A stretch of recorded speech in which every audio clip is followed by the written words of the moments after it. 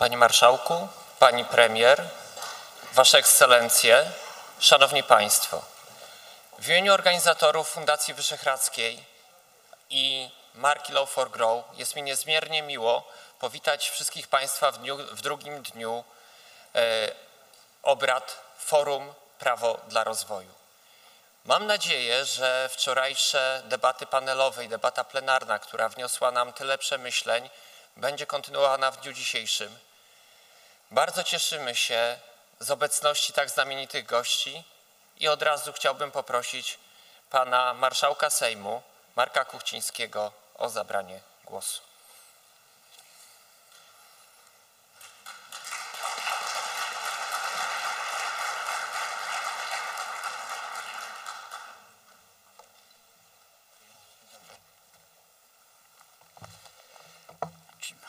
Dziękuję bardzo Pani Premier, Państwo Parlamentarzyści, Panie i Panowie. Bardzo się cieszę, że organizujemy Państwo, organizują Państwo Fundacja Wyszehradzka po raz kolejny Forum Prawo dla Rozwoju jako wymianę doświadczeń i wyzwań legislacyjnych także tak kluczowych, w tak wielu obszarach kluczowych dla naszego państwa, a sądzę, że możemy śmiało powiedzieć, że dla każdego państwa i pewnie nie tylko w Europie. Bogactwo tematów, z jakimi mamy do czynienia podczas tych dwóch dni, wskazuje bogactwo tematów i dyskusje, jakie słyszeliśmy wczoraj, wskazują na potrzeby i na to, że potrzeby jakie potrzeby nadal stoją przed naszym państwem. Zachęcają też do formułowania konkretnych wniosków, jak to miało miejsce, ale na cztery sprawy z, tego, z tych bogatych wielu kwestii pragnę zwrócić Państwu uwagę. E, one wynikają z doświadczenia, z praktyki nie tylko ostatnich lat, ale wielu dziesięcioleci naszego zainteresowania się udziału, angażowania w życiu publicznym Polski i można śmiało powiedzieć całej Europy Środkowej. Po pierwsze, wiemy jak ważną sprawą jest dobre prawo e, i można powiedzieć, że również wiemy jak je wprowadzać i jak je wdrażać, a chyba najlepszym, nie jedynym, ale chyba najlepszym przykładem dobrego wprowadzenia i wdrożenia dobrych przepisów to są przepisy ułatwiające w Polsce zwalczanie przestępczości gospodarczej e, e, polegającej na omijaniu i wyłudzaniu podatku VAT, a więc nieuczciwej działalności gospodarczej. Zysk mamy taki, że do budżetów państwa wpływa rokrocznie gdzie wpływają rokrocznie dziesiątki dodatkowych miliardów e, złotych, z których można finansować e, przedsięwzięcia służące wszystkim obywatelom, takie jak wielkie programy 500 plus czy, czy wyprawka e, plus. Proszę Państwa, po drugie, przyjęliśmy właściwe rozwiązania w polityce migracyjnej które zwiększają bezpieczeństwo naszego państwa i naszych obywateli i jak wiemy większość państw europejskich e, przychyla się do tych e, stanowczych decyzji, jakie rząd nasz od szeregu lat postulował w tej kwestii. Sprawa bezpieczeństwa, wiemy dobrze, jest, należy do podstawowych obowiązków każdego państwa. Po trzecie, Widzimy potencjał Europy Środkowej i tutaj mm, można powiedzieć, nie tylko włączamy się, ale i rozwijamy. Rozwijamy ten projekt, który nazywamy projektem Trójmorza, a który jest projektem, propozycją rozwijania się i umacniania współpracy państw leżących między trzema morzami i zakładamy, że ta współpraca będzie dodatkową, mocną dźwignią gospodarczą także dla współpracy dla całej Unii Europejskiej. Mówię dźwignią gospodarczą, dlatego że wydaje się, że ta współpraca i nasze państwa, które od kilkunastu lat są członkami Unii Europejskiej, niosą sobie także jeszcze inną siłę, inną energię, e, którą e, i to jest po czwarte, e, że tak powiem, ponieważ nosimy, niesiemy w sobie dla Unii Europejskiej i dla świata europejskiego, dla cywilizacji tą potrzebę powrotu do uporządkowania wartości, z których Unia Europejska i cywilizacja europejska wyrasta, na których się opiera, do nich należy chrześcijaństwo. Chrześcijaństwa, chrześcijańska koncepcja natury człowieka, chrześcijański system życia społecznego.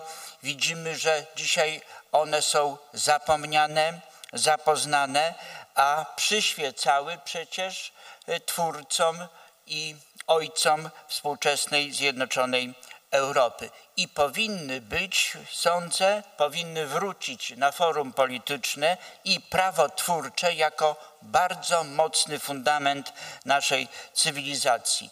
Te wyzwania cywilizacyjne, które stoją przed nami, które mm, są związane z nowoczesnymi technologiami, z y, innowacyjnością, także nowymi sposobami komunikowania się, one wymagają y, pewnego fundamentu i sądzimy, że tym fundamentem powinny być, powinny być odniesienia się do wartości chrześcijańskich życia człowieka i wskazania, że podmiot, że podmiotem jest człowiek, że celem naszego działania w życiu publicznym jest człowiek.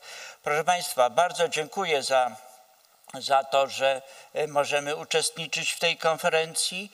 E, Bardzo dziękuję za e, udział i za zaproszenie i życzę wszystkim Państwu owocnych obrad i bardzo ciekawych, twórczych dyskusji. Dziękuję bardzo.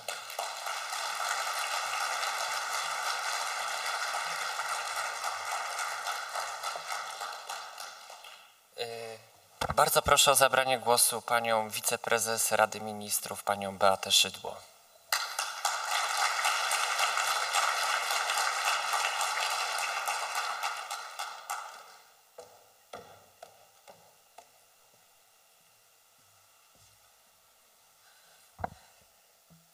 Panie Marszałku, Panie Wojewodo, Panie Ministrze, Szanowni Państwo Parlamentarzyści, Panie Profesorze, Pani Ambasador, Szanowni Państwo, bardzo cieszę się również, że mogę uczestniczyć w dzisiejszym spotkaniu, w konferencji, która jest niezwykle istotna, niezwykle ważna.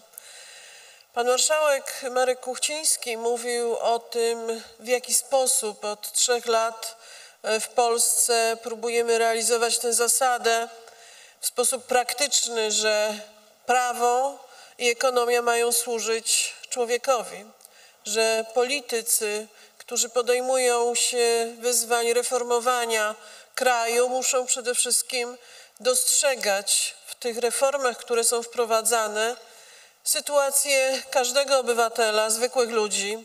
Muszą przełamywać bariery, które do tej pory okazywały się nie do pokonania i wreszcie muszą wiedzieć i chcieć zrobić rzeczy i podejmować tematy, które dla wielu wydawały się niemożliwymi, a tak naprawdę będą decydowały w kolejnych latach, w kolejnych dekadach o przyszłości naszego kraju, o przyszłości obywateli.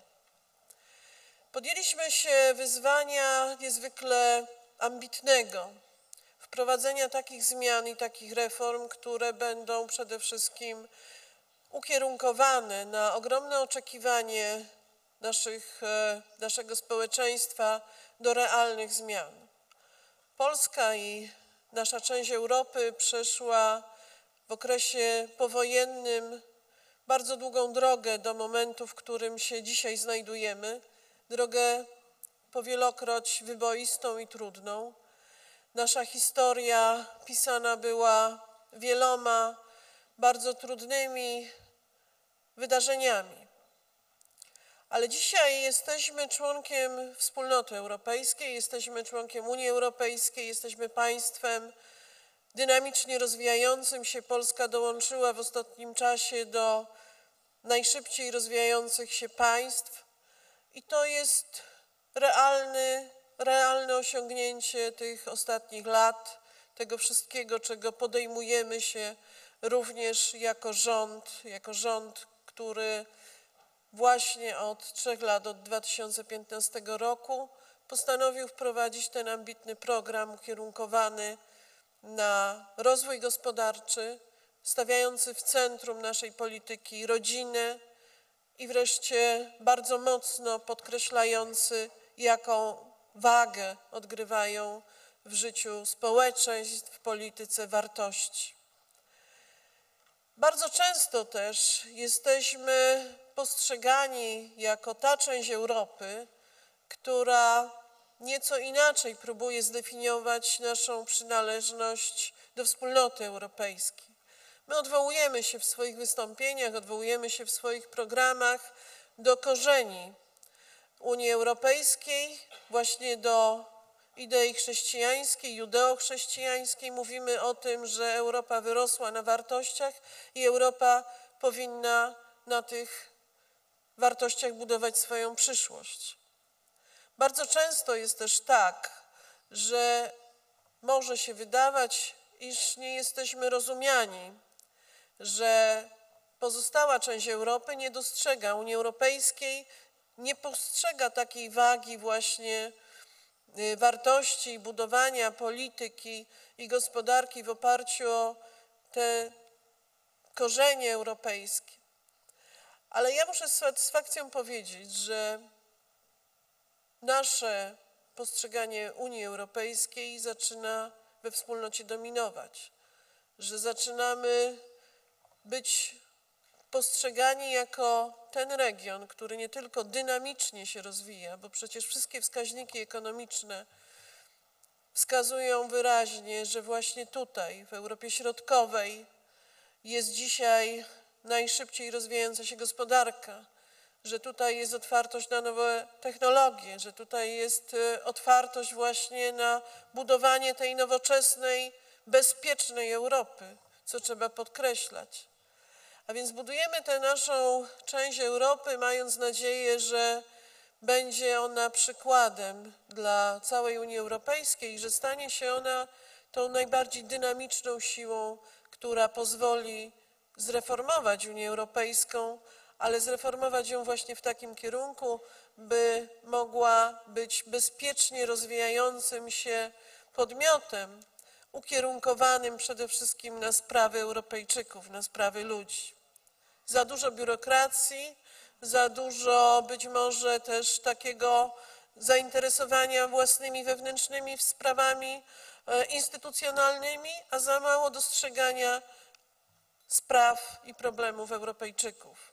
Tego nam dzisiaj brakuje i z tym przesłaniem też chcemy wystąpić. Ta nasza część Europy właśnie i Grupa Wyszehradzka e, i kraje, które są e, z, e, związane ideą Trójmorza, z tym przesłaniem do Europy chcemy wystąpić. Nie byłoby, proszę Państwa, sukcesu polskiego rządu, nie byłoby sukcesu Polski, bo przecież to, co rząd robi, jest zaledwie emanacją tych ogromnych energii, które drzemią w naszym społeczeństwie. Gdyby nie zważenie odpowiednie i pokazanie, że wszystko to, co robimy, właśnie ma odpowiadać na oczekiwania naszych obywateli.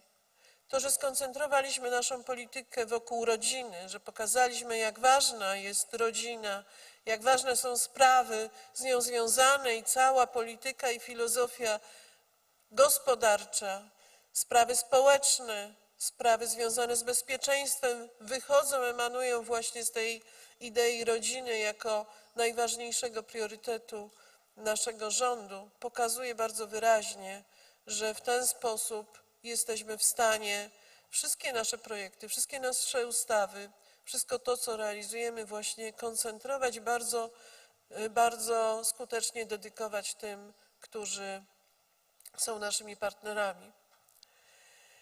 Cieszę się, że jesteście Państwo tutaj i będziecie dyskutowali o tych najważniejszych sprawach, co zrobić, jakie podejmować e, tematy, w jaki sposób je realizować, jakich narzędzi używać, ażeby rzeczywiście prawo i wszystko to, co jest budowane poprzez Państwa pracę, było nie tylko odpowiadające aktualnym zapotrzebowaniom, ale by- żeby rzeczywiście, tak jak bardzo często się to mówi, po prostu służyło ludziom. Jesteśmy w Polsce w tej chwili też w szczególnym momencie, bo przecież e, przeprowadzamy bardzo ambitną reformę sądownictwa. Reformę tak bardzo oczekiwaną przez Polaków, tak bardzo wydyskutowaną. I wierzę w to głęboko, że również i tutaj te zmiany, które zostaną wprowadzone, będą wpisywały się właśnie w to, co dzisiaj jest najistotniejsze i najważniejsze, abyśmy te nasze reformy ukierunkowali na przyszłość i rozwój naszej ojczyzny. Dziękuję Państwu za zaproszenie. Życzę owocnych obrad. Dziękuję bardzo.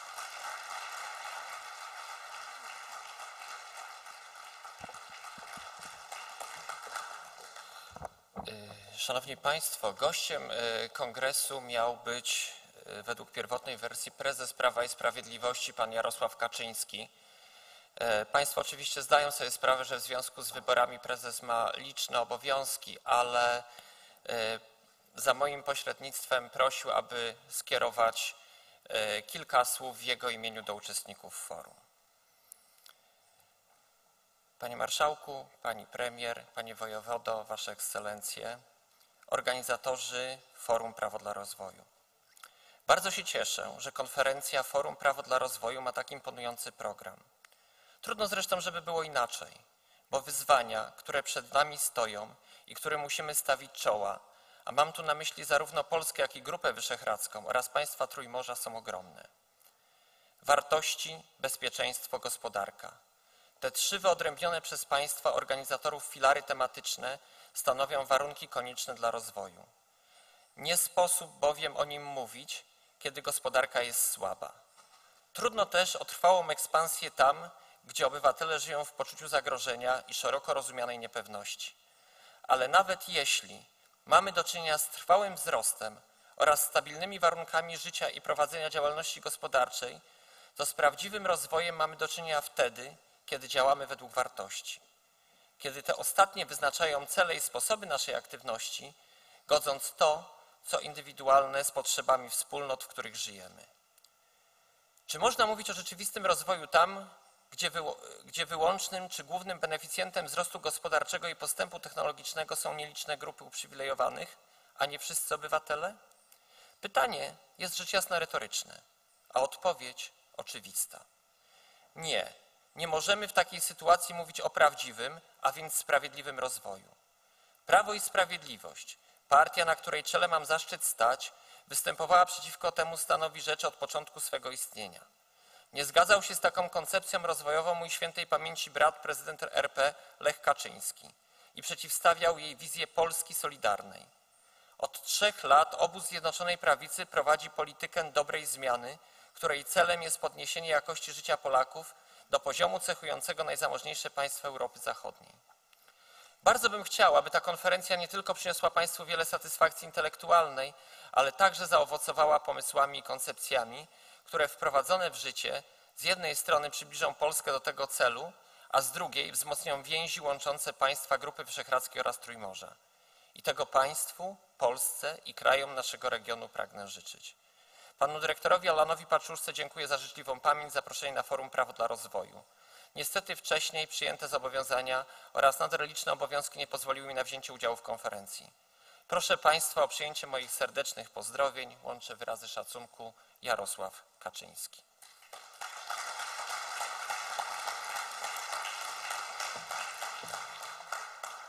Proszę mi pozwolić w tym miejscu w imieniu władz Fundacji Wyszehradzkiej złożyć szczególne podziękowania patronom forum i e, sponsorom, bez których oczywiście tego forum nie udałoby się zorganizować. Bardzo dziękujemy panu marszałkowi Sejmu, panu Markowi Kuchcińskiemu za objęcie tego wydarzenia swoim honorowym patronatem.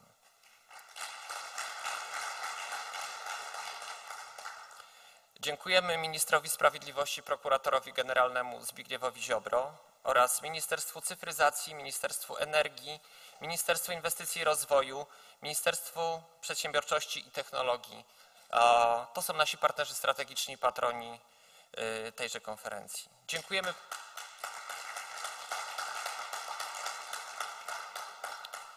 Dziękujemy sponsorom, partnerom strategicznym Orlenowi i PZUSA, PGNiG i Invento oraz PGE i PKO SA.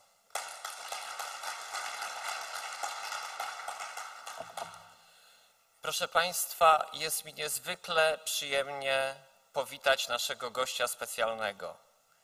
O, naszym następnym mówcą prosto z Austin w Teksasie przybył do nas profesor George Friedman, powszechnie rozpoznawalny y, teoretyk geopolityki i prognozowania politycznego, autor wielu książek, które wywierają wpływ na sposób myślenia politologów, twórców koncepcji politycznych i prawnych. Najbardziej, najbardziej znaną oczywiście w Polsce następne 100 lat, następna dekada. Profesor Friedman jest prezesem i założycielem e, think tanku Geopolitical Futures, e, w którym zawarte są online publikacje dedykowane tematyce geopolitycznej i prognozowaniu politycznemu, e, szczególnie, ze szczególnym uwzględnieniem systemu powiązań międzynarodowych. E, Przed założeniem Geo- Geopolitical Futures w 2015 roku e, profesor Friedman był e, przewodniczącym e, globalnej Global Intelligence Company, tak to mam w tłumaczeniu, można to przetłumaczyć jako globalną agencję wywiadowczą, analityczną Stratfor. Panie profesorze, proszę mi pozwolić przywitać naszego specjalnego gościa, pan profesor George Friedman.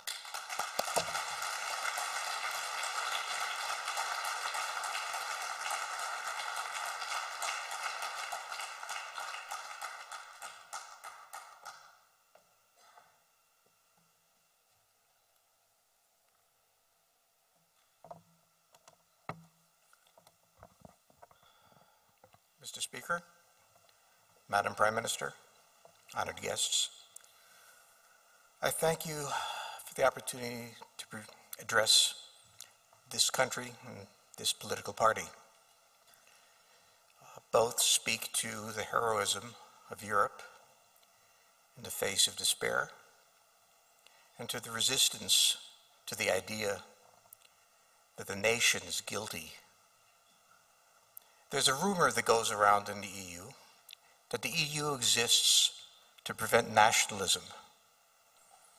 Because nationalism began World War II, and we don't want a repeat of that. It's an interesting theory. Perhaps it was Polish nationalism that started World War II. Maybe Portuguese. Maybe it was the Norwegians. The fact of the matter is, it was not nationalism that caused World War II. It was Germany and its junior partner, the Soviet Union. Both in the grip of a godless madness. The German madness, the idea of the Aryan Superman, and all else inferior. The Soviet madness, the idea of dictatorship of the proletariat producing paradise. Neither were truly nations. They did not dream of their people. They loathed other people. They dreamt of a transcendence by man. But the idea that nations caused World War II or World War I caused by empires burying nations is a fable that allows the creation of an international European institution that claims a moral authority over all the nation states because they, being pure of nationalism, will not start a war. Well, perhaps not, and perhaps they will. But I want to speak at the beginning of this about the necessity of nationalism. We need to begin by understanding where a human being comes from. He comes from his mother. And in his first years, he cannot survive without the mother, the father, someone, because he can't. And from his mother, he learns his language. And with that language, a map of the world. To learn Chinese is different from learning Polish, is different from learning English. But the first gift of the mother to a child is the language of his people. Because language is intimately bound with people. And then she gives him his gods. She tells him the tales of the books, ancient and modern, of their religion. And then the father tells him of the history of those who harmed their nation, those who helped their nation, those who were great in their nation, those who betrayed their nation.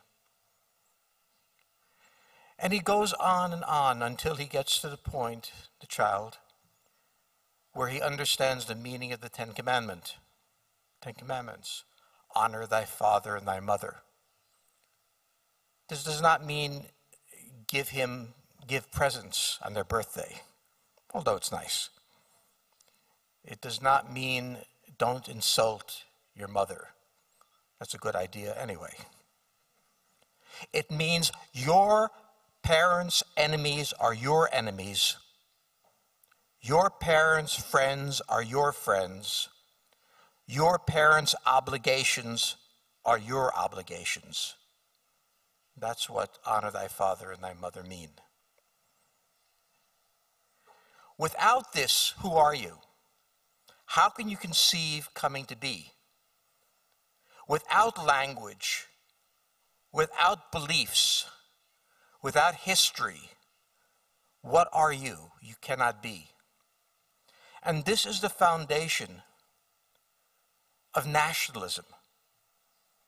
It is not marching boots, not tanks rolling across borders. It is love of one's own. Love of one's own is something without which a child cannot imagine being. He loves the things he was born to. He's not yet learned to be critical. He's not yet learned to reject. He may. But he is, all of us are born to that love to which we're which made us who we are. The nation grows out of this. The nation grows out of a common language, a common religion, which should be tolerant but still is the religion. It grows out of a common history, a common sense of obligation, a common sensibility of what I am.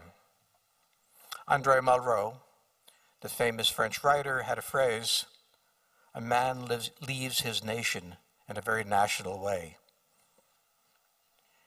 When an American says, I'm no longer an American, he does it in a very American way.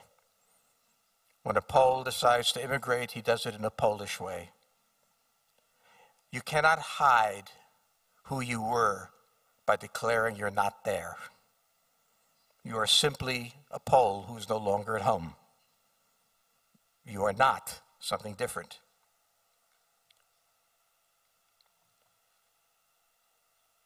This idea of nationalism as a framework for being human does not make you a warrior, although it can. It makes you a decent human being. For who would not honor his mother? Who would not honor his father? who would not honor the tradition to which he was born. You can go beyond it, have more than that, you can have all these things. But this is the foundation of decency. Those who claimed have no loyalty anywhere but to an idea, this was Lenin. This, in the end, was Hitler when you really thought of him disengaging the human being from his nation makes the world vast and incomprehensible. It hides the question that we all ask every day Who are we? What are we supposed to do? What will we become? It was not 1992, not Maastricht, that created a deep sense of this vision. It was 1848. 1848 was an uprising against the empires and a celebration of the nations. The Czechoslovaks rose up, the Germans rose up, everyone rose, and they asked for one thing their nation. This is the moment that the European Union forgot and will not contemplate. It is the moment that was lost. What is at the heart of a nation? Well, they're all the beliefs, but politically, what is at the heart? The concept of national self determination. The idea, when we used to speak against colonialism, we celebrated the right of national self determination. But the right to national self determination means that the nation is ruled by the people. And the manner in which the nation is ruled by the people is by elections. And these elections are sacred. They're not convenient. They're not an advisory role to a bureaucrat somewhere. It is the nation speaking collectively as to what they want. And of course, the nation is split. Of course, the nation disagrees. But the nation debates itself and then accepts the outcome of the election. We hear a great deal about nationalism being opposed to liberal democracy. This is the falsification of history because liberal democracy and nationalism arose together. And his great moment of definition was 1848. Liberal democracy to 1848 meant two things. First, the nation determines its fate, not the empire, not foreign countries, not multinational organizations. The nation determines its fate. And it accepts in, the, in, in that that it will have a set of laws, a constitution, which limits the power of the people to harm others. A constitution which says you cannot murder those who disagree with you. A constitution which says that in the end, in not respecting the elected leaders of your country, you are not respecting the majority of people who selected them. The Constitution is essential. But the idea that each nation has one constitution violates the principle of liberal democracy. The American Constitution opens with We the people of the United States, in order to found a more perfect union, and goes on. The Constitution comes from the people and it may differ in many different ways. The American Constitution gives a right to bear arms, maybe wisely, maybe unwisely, but I can assure you from Texas, if you tried to violate that, you would have problems. The Polish Constitution does not have that. You are no less liberal democratic than Texas in having a different constitution. We hear the story that you do not appoint judges for life, and therefore you are not liberal democratic. In the United States, except for the federal courts, all judges are elected. I have a friend, a Supreme Court justice in Texas, stopped being a Supreme Court justice because she got tired of being elected.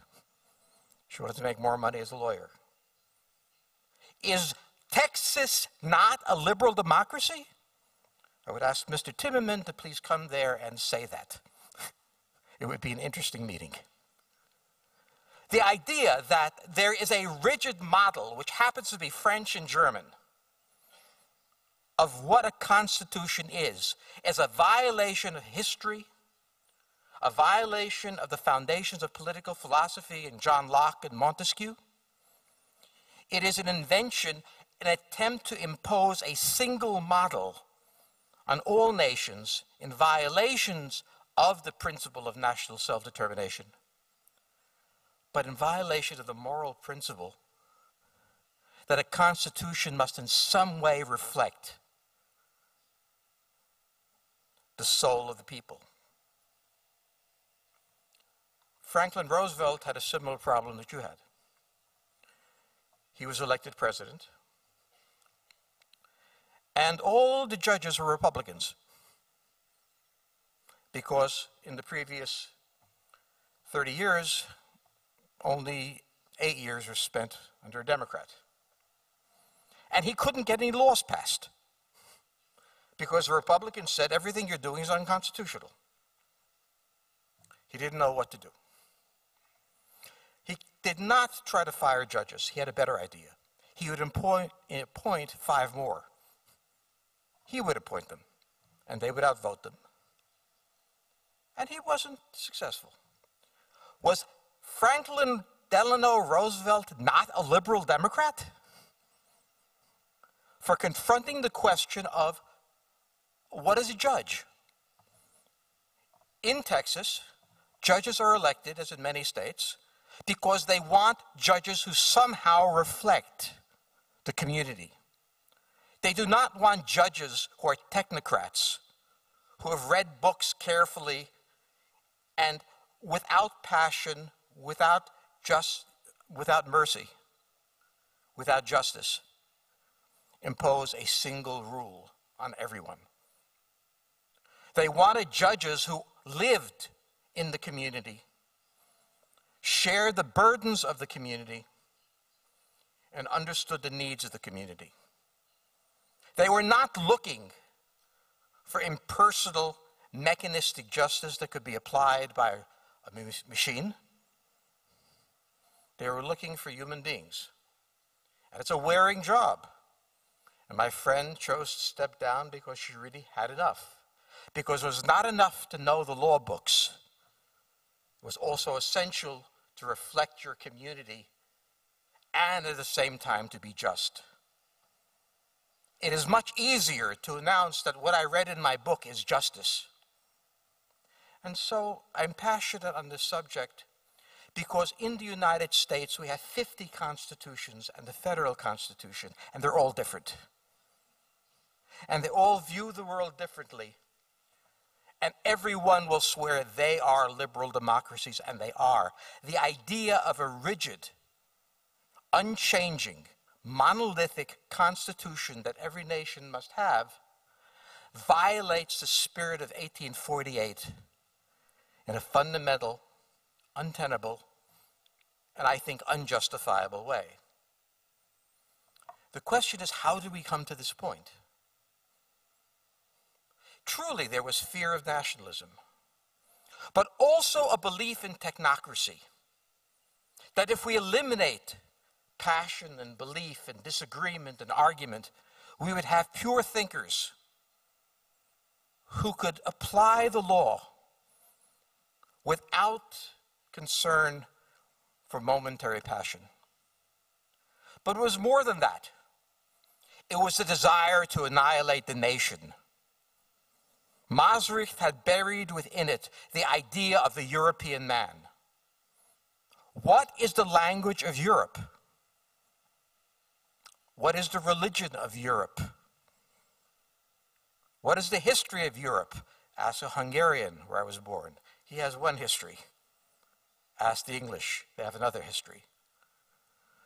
You cannot be a European man because your mother will never nurture you in the European language, will never speak of the European gods, will never speak of the European obligation. the attempt to create a European man falsified 1848.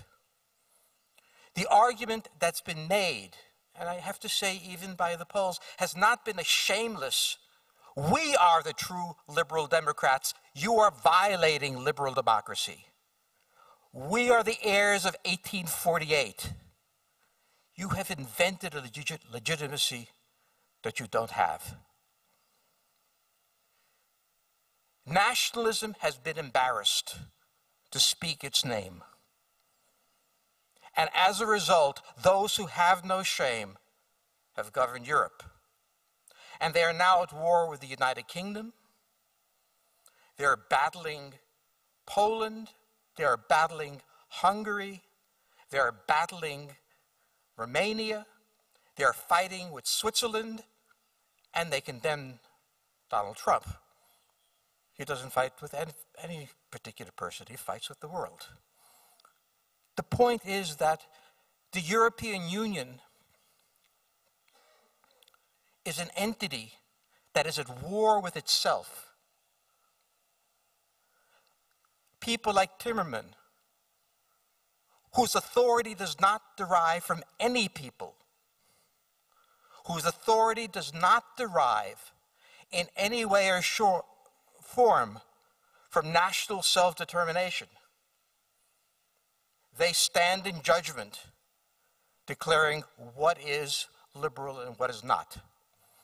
And I assume Timmerman in his time would have condemned Franklin Roosevelt as an enemy of liberal democracy. Franklin Roosevelt. And he would say that gun laws in the United States violate the Constitution. Well, they don't. They may be a bad idea, but I live in Hays County, Texas. There are 50,000 people, and the police aren't going to come anytime soon. The point is, we are different countries, different places, different needs, different values. And instead of celebrating those differences, the EU tries to obliterate them. Well, Poland, like every other country, must now chart its course. The Germans are doing what is best for the Germans, the French, what is best for the French. Each nation is doing what is best for them and pretending that it is best for everyone. We do the same. We went to Canada and said, We want you to completely accept a different trade deal. And it's the best thing you could do. The Canadians knew it wasn't the best thing to do. So we fought. But the idea that the imposition of the interests of some nations over other nations represents the will of a European because they are somehow not nationalistic, well, it drives Americans crazy. And that's probably the origins of my own madness. Poland cannot remain in this situation. It cannot live in a situation where it is in an organization that will deny it its right to national self determination. It can't betray 1848. And I am charging the EU with betraying the revolutionary origins of liberal democracy. So, what is to be done, as Lenin put it? Well, let us consider the real issues. Poland sits on the North European plain. To its west is Germany, to its east is Russia, and in between is its nightmare. The problem that you must determine is not how your judges are going to be selected. Go select them.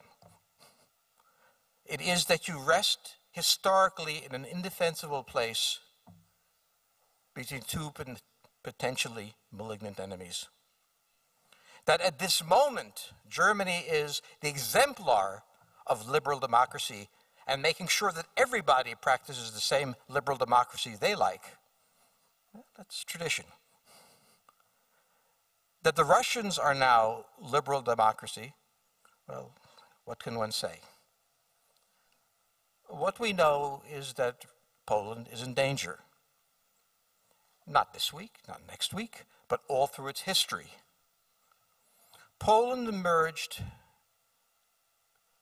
from the Cold War with what I call what's called PTSD, psychological stress disorder, shattered by the experience of the Nazis,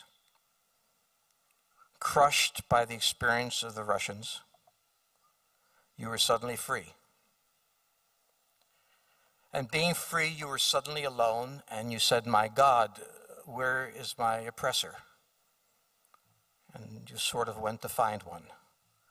Well, it was a very mild oppressor. These are not Nazis, these are not Russians.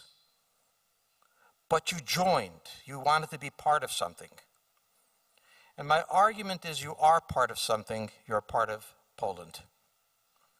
And that is not a trivial thing to be. It is not an unimportant thing to be and not a powerless thing to be.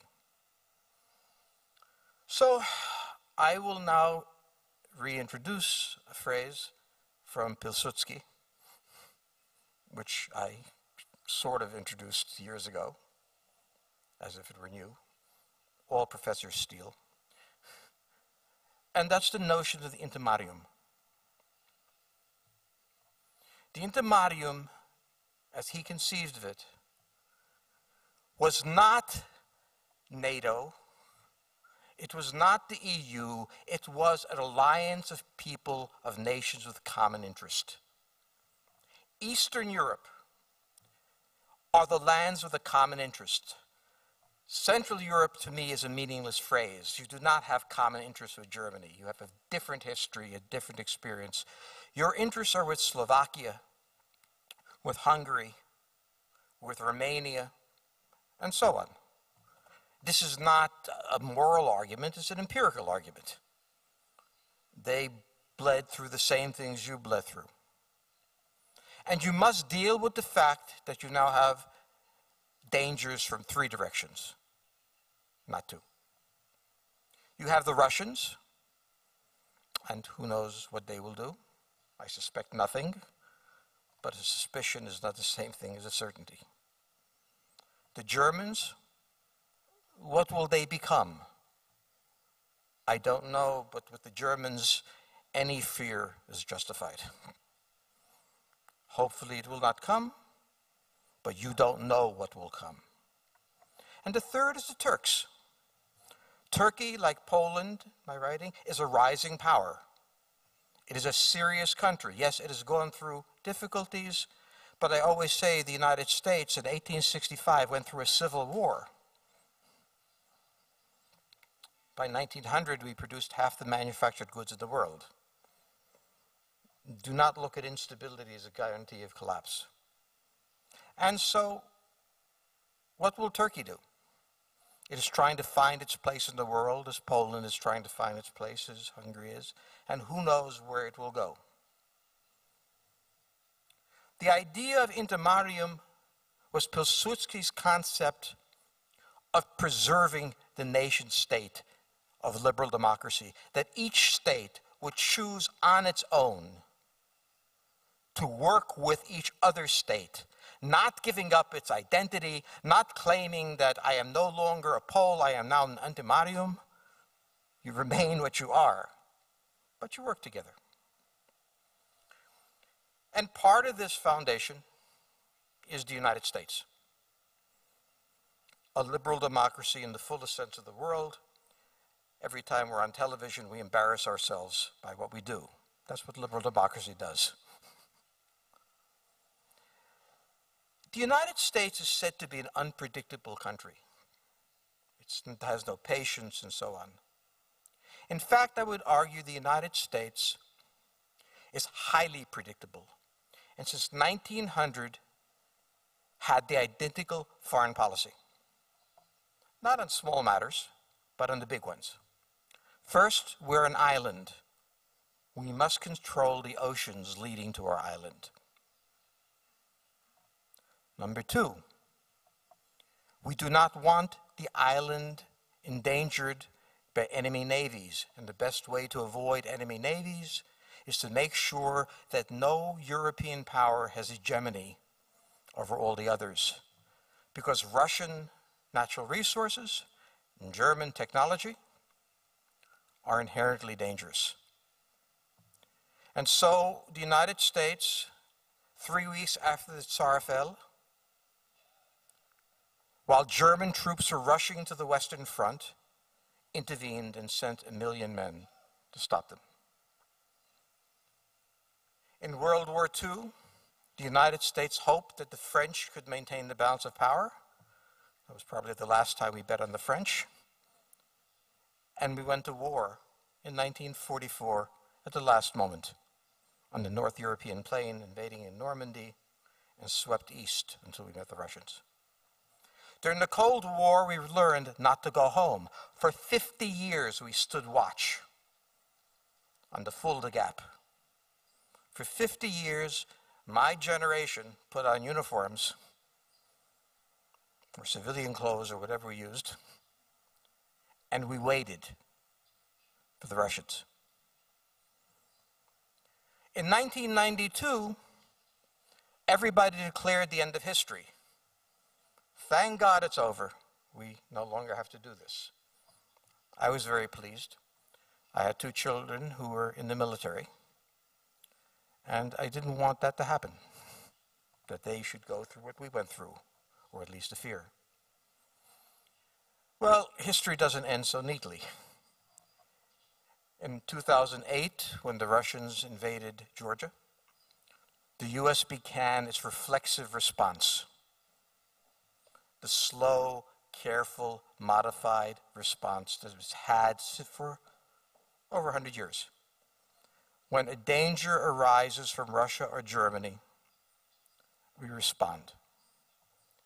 In 2014, it became more of a matter, more of a concern.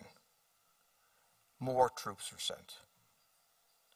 Today, the United States is engaged on the North European plain, not in northern Germany, but in Poland. It is engaged on the South Caucasus and the Black Sea in Romania. These were not random moves. This was part of our DNA. We want to control the oceans. We must prevent European hegemony. And now the Romanians and the Poles are our closest friends. The Europeans say we have disengaged from Europe. The United States is heavily involved in Korea, in China, in building the Quad alliance between Japan, Australia, the United States, and India. It is deeply involved still in negotiations in uh, Afghanistan. It is heavily involved in building an alliance structure, the new NATO, against Iran. It is working in Poland and Romania. Where does this fantasy come that the United States is not engaged in the world? From Germany and France, because they are the world, and if we're not engaged with them, then we must not be engaged in the world. Well, of course, we're engaged in the world. We are here in Poland. We are here in Romania. My friends in Hungary someday will welcome us too. But the point is that the United States is the guarantor and wants to be the guarantor of Polish national self determination. We will be here, but we have no advice to give you on your government. Or if we give some, ignore it. It's, we have no idea what to do.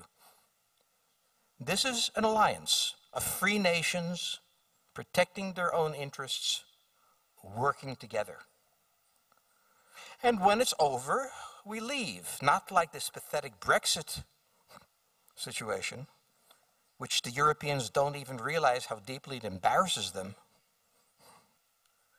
Uh, we leave, but we won't. We'll be here because if it takes 50 years or 100, we have time. One of the interesting things about the Europeans that I always wondered about was we had in the United States the same problems as the EU had. The South wanted to secede, the North didn't want them to go. Um, they had one economic model which was hated by the North, slavery. The North was industrial.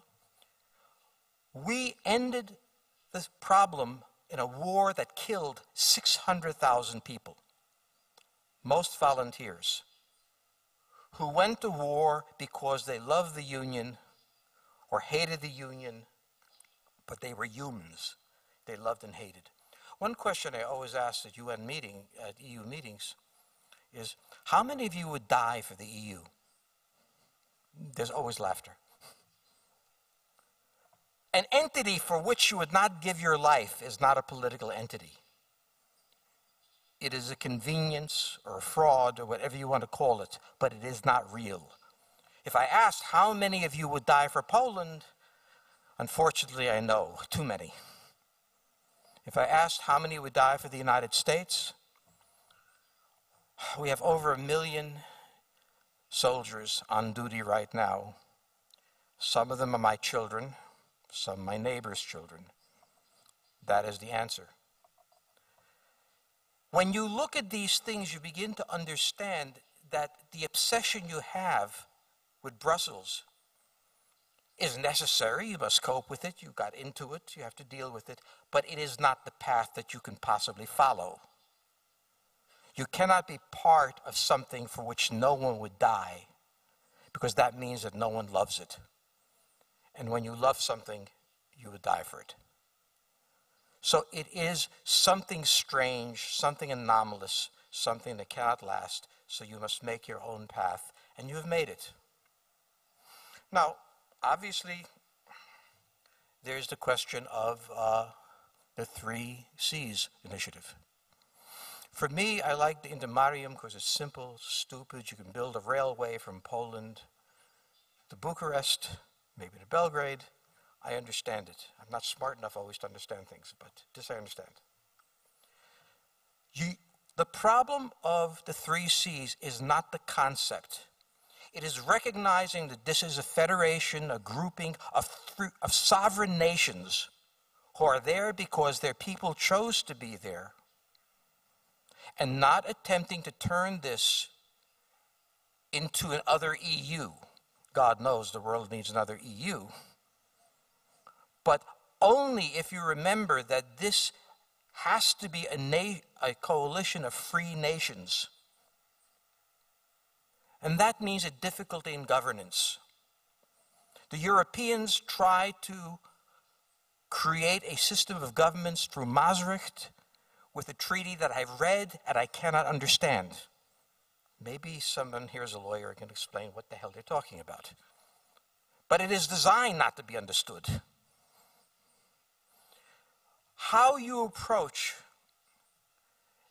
this Three Seas initiative must flow from 1848. It must not flow from 1992. The governance of this must not be a governance. Its governance must be in the capitals of the nations. The principles are everything. The principles matter in every way and shape and form. But the governance must be left to the individual bodies. Yes, I worry. I worry about Croatia being part of it and what the Serbs will do because they're not part of it. This is, after all, the Balkans. I worry more about ambition than caution. It is something that must happen, but I'm glad to see that it is happening modestly and slowly. That the concept is being laid down, and the governance will take a while to appear. I want to close with a point that I think is important. Eastern Europe is the heart of Europe now. Western Europe is tired, and Germany is filled with failing banks and corporations like Siemens that were created in the 1950s. And their great solution to their economic problems is to sue American companies to try to drive, drive them out. No Facebook, no Google, no Microsoft, no Apple arose in Germany, arose in France. It didn't happen. Eastern Europe is the most extraordinary collection of minds and intellect that are paid more poorly than anywhere else in the world. This is your competitive advantage. You are a nation filled with the brilliance of the modern economy. You're a nation filled with people who recognize things that I can't even imagine. You know, I sit around with Hungarians talking. I don't sit around Poles because I don't understand them. but I sit around with the Hungarians, and the things they come up with sound insane. Yet I think so many things once sounded insane. I am stunned by the intellectual property embedded in the minds of your staff. For that, you must have entrepreneurialism. You must be able to fail to be successful. I started a company, Stratfor. If it had failed, I would have said sorry to everybody, gone away, and started a different one. The essence of the success is to try and try and try again until you get it right. Many of the laws that I've seen, particularly regulations in the EU, make that try, try again impossible. If bankruptcy is not simply something that happens to you, you can't be entrepreneurial. When I look at this region, the reason that I said that I saw Poland rising to be one of the leading players in the world was that I saw the intellectual capability of the Polish people. Compared to Paraguay or Mongolia, it is extraordinary and so underused. And I expected it break, to break free into a model like the United States. And that will happen. And it'll be socially painful and difficult, but the liberation of these minds to make money is the foundation of the national power of Poland. And this will be something that has to happen. You have one final advantage that's enormous. Look at South Korea and Israel. In 1950, the South Koreans were rice farmers, not very good ones either. The Israelis had no idea what they were doing. They are now global industrial and financial powers. How? They had a strategic necessity to the United States. The United States needed South Korea to become viable. The United States needed Israel to become viable. And therefore, the military relationships grew into fantastic economic relationships. You now have Fort Trump, maybe Fort Mattis, I don't know. but you have, you will get this. And with them will come far more Americans than you ever wanted to see because we don't go small. And so will come the Raytheons and every other company that wants to do business, and they will hire Poles to work there, and this will create an effervescence.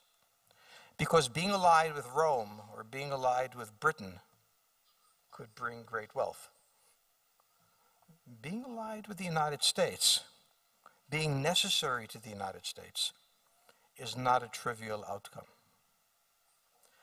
To take advantage of this, you must be free to follow your national identity, free to follow your people, free to make your own decisions, free not to defer to anyone else. The European Union is breaking down. Anyone not a member of it can see it. It is time to start thinking about what happens afterwards. This is not because I hate free trade agreements. I love free trade agreements. But, but Mexico does not tell the United States what its constitution should look like, and we don't tell the Canadians how to teach school. It is a free trade agreement, and free trade agreements are necessary, so long as you can leave. But I see the future of Poland as bright because Poles are resilient. Poles know how to survive bad times, far worse than this. And Poles will come out of this. But I end by saying, having talked about nationalism and all these other things, look at your people. Look how extraordinary they are. Look at your neighbors. Look how extraordinary they are. And start thinking about how to craft the Three Seas initiative to take care of all of the advantages that the EU promised but didn't give. It's not that I'm angry at the EU. I, I don't live under the EU. I, it amazes me. It's not that I'm negative on the EU. I don't know what that means. It is an entity at war with itself, and you're part of it. But beyond this moment, the future for Poland is extraordinary. And the hardest thing to do is convince the Poles that this is true. Thank you very much.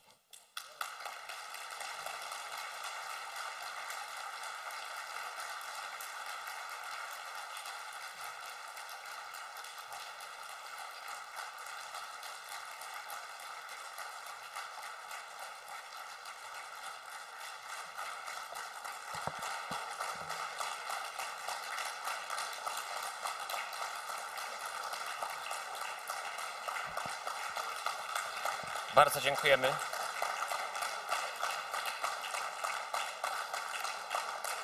Bardzo dziękujemy panu profesorowi. E, jeszcze raz z tego miejsca chciałem bardzo, bardzo serdecznie podziękować panu marszałkowi Markowi Kuchcińskiemu za obecność.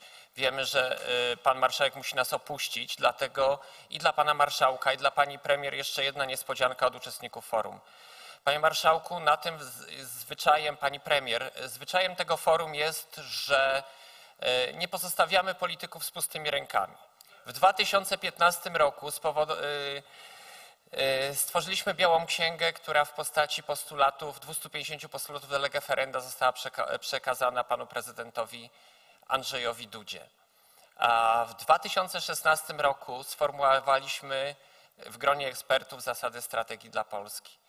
Dzisiaj bardzo proszę o przyjęcie pana, pa- przez pana marszałka i przez panią premier a, naszego raportu Trójmorze przyszłość do 2030 roku pod redakcją doktora Konrada Henninga, który ma zaszczyt wręczyć panu marszałkowi i pani premier nasze eksperckie opracowanie.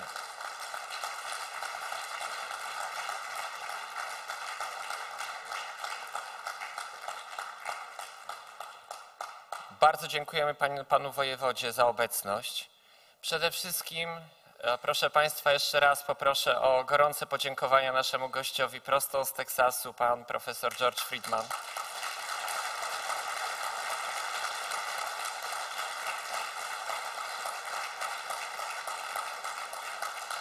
Chcę zaprosić Państwa teraz na trzyminutową przerwę techniczną.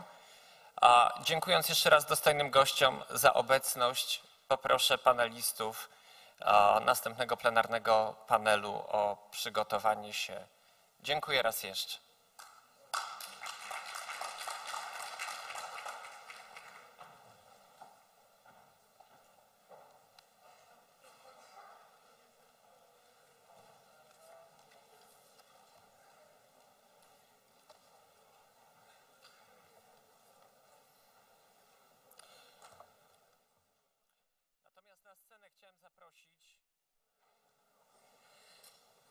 Pana doktora Matiasza Zrno, pana profesora Macieja Szymanowskiego,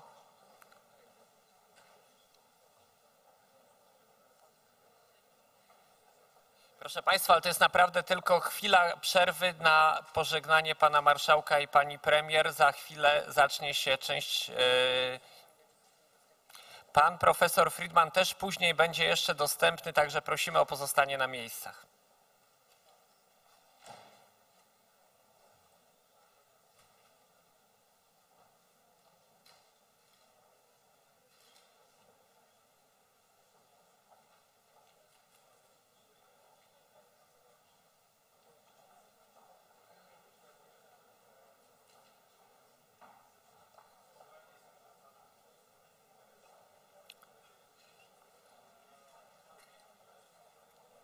Jeszcze raz poproszę pana doktora Matija, Matiasza Zrno, pana profesora Macieja Szymanowskiego, pana Dawida Józefa Szabo i pana Martina Zimmermana.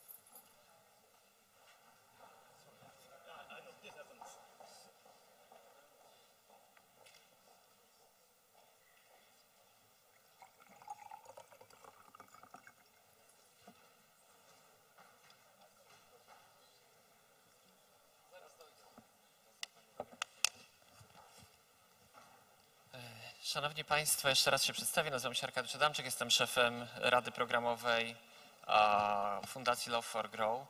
Jeszcze raz, co prawda, zostaliśmy w nielicznym gronie. Mam nadzieję, że zaraz po sesji zdjęciowej z profesorem Friedmanem e, część uczestników wróci tutaj do nas, a jeśli nie, moi drodzy, no to i tak elita y, powiedzmy najbardziej zainteresowani, zainteresowani oczywiście tą debatą e, są na sali.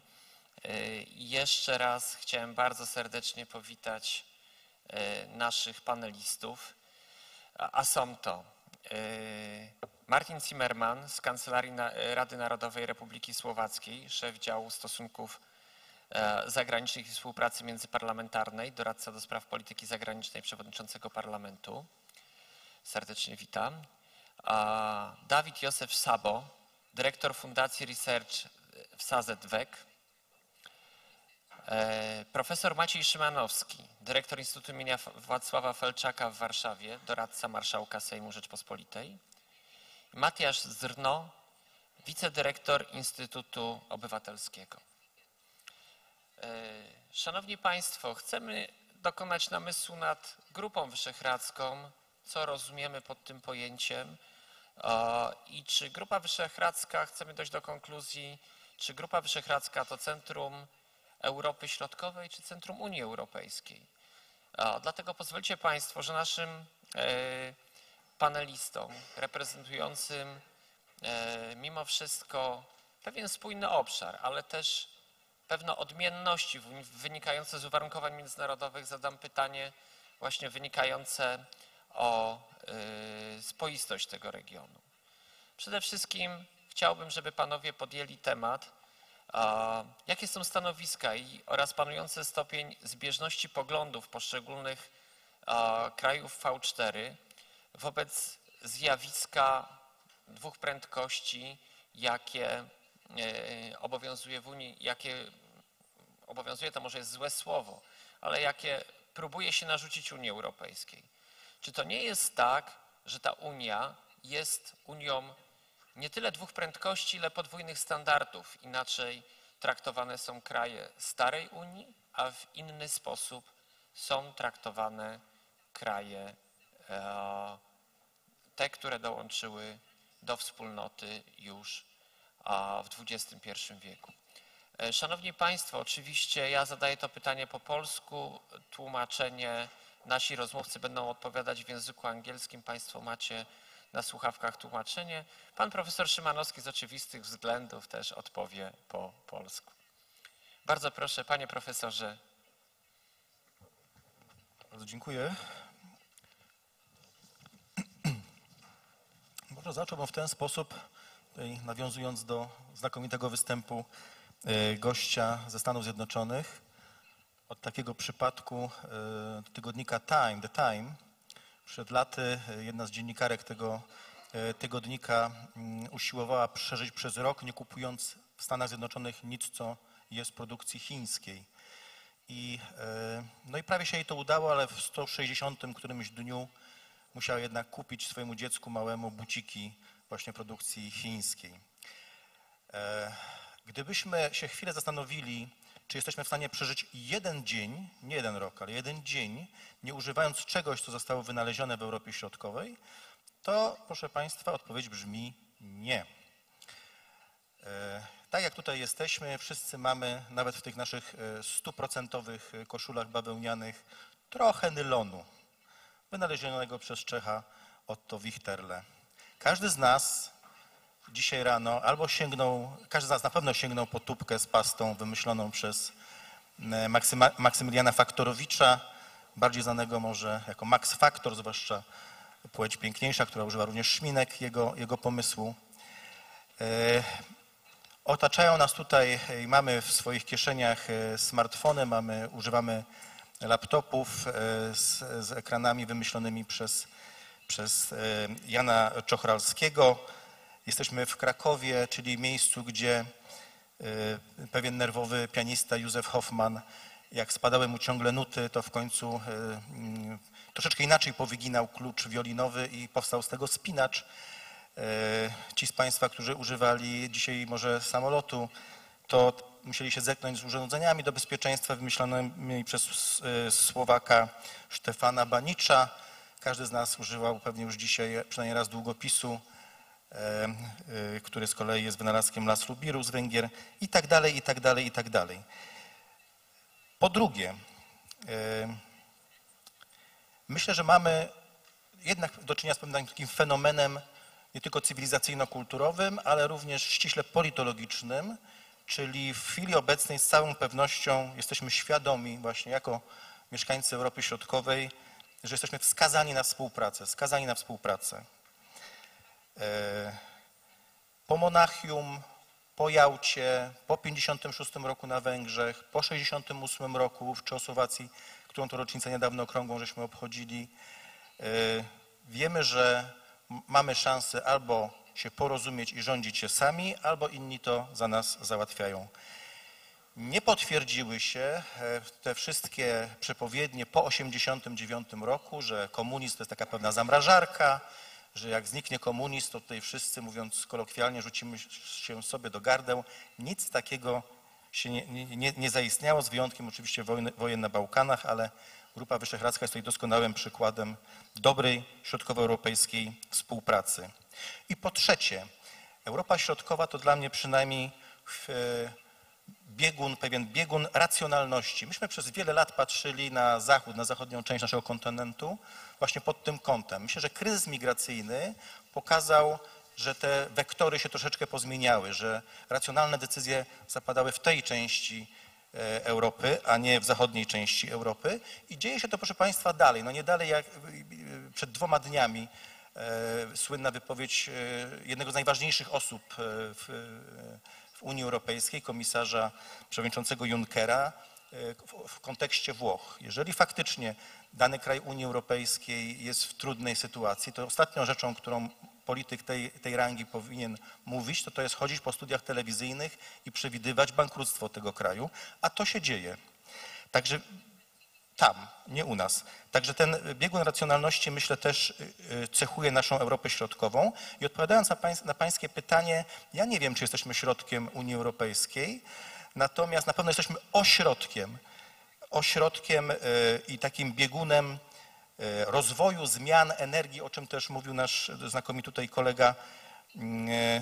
Jesteśmy pełni życia, jak się wydaje, i, i żywotności. Ja, jeśli, jeśli chodzi o moje prywatne zdanie, jestem jak najlepszego mniemania o tym, co się będzie działo w Europie Środkowej w najbliższych latach. Dziękuję bardzo. Pana Martina Zimmermana poproszę. Thank you very much, uh, Mr. Chair, Mr. Professor, dear colleagues. Thank you for inviting me to this event, and thank you also for for organizing very this very very very very inspirational and and very very uh, thankful event that that uh, that is posing um, uh, the main question rising uh, mm, at, the Central Europe, the V4 countries. And uh, I am I'm truly honored and pleased to be here today with you.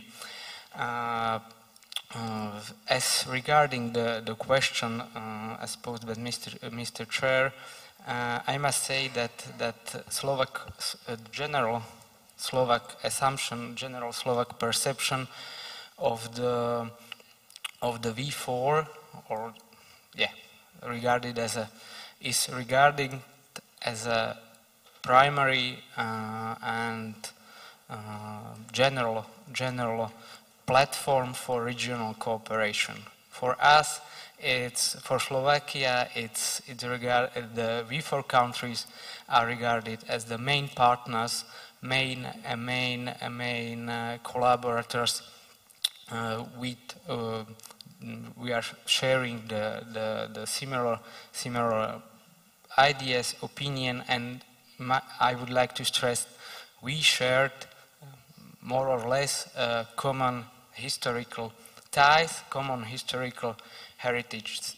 Uh, as the Central Europe um, has a uh, very, very, very mm, tough uh, experience, historical experience of the of the external hard power influences, mainly uh, and to being during the course of history, yeah, on the on the, being a chessboard behind behind some great powers' interest.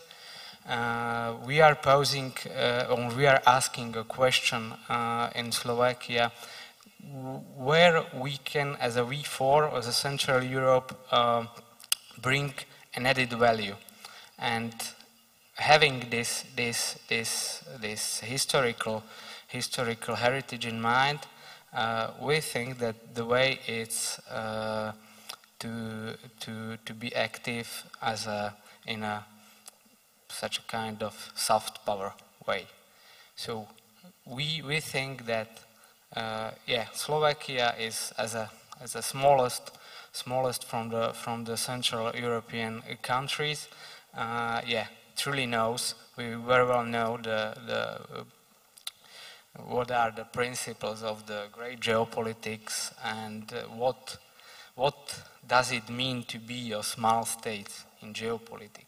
But uh, it doesn't it doesn't mean you still uh, still uh, succumb to the influence of someone who is bigger and someone who is stronger. You are entitled, if you are a small state, you are entitled to have uh, your own opinion. You uh, are, are entitled to be critical, but you need to find uh, proper way and instrument how to articulate this this this this uh, this uh, your positions. And this is the and we think that that uh, it should be done with, by, by using uh, soft power instruments like dialogue negotiation. I think uh, to conclude my my, my initial in intervention that uh, the opportunity uh, for the Central Europe or the V4 countries lays in a way that they they uh, they need or they they they need to uh, be actively involved in the whole European discussion, uh, mainly on the EU level.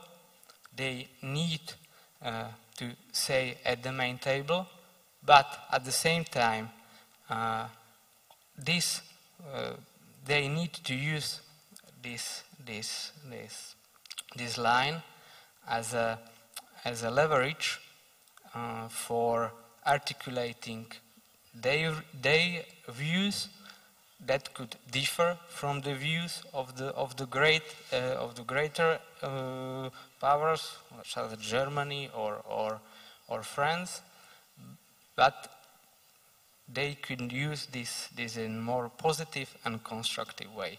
This is the general line Slovakia or we in Slovakia uh, are thinking of and yeah, it, it, it is a steering point for, for further reflections. Thank you. Dziękuję bardzo. Poproszę e, pana e, Matiasza Zrno. Uh, thank you, and also thank you for the invitation to this uh, very magnificent event in the beautiful city of uh, Krakow. Um, let me start with digging a little bit uh, back in the history because I think it might be useful. Uh, how the V4 started. I mean, the V4 uh, was not created in order to build some sort of specific entity um, in antagonism towards the EU. On the contrary, it was created to help the particular states of Central Europe to get integrated into NATO and in the European Union as fast as possible. That was the primary goal. And uh, to be frank, the, the, after a very nice beginning, uh, it ran out of steam actually pretty fast. I mean, already in the half of the 90s.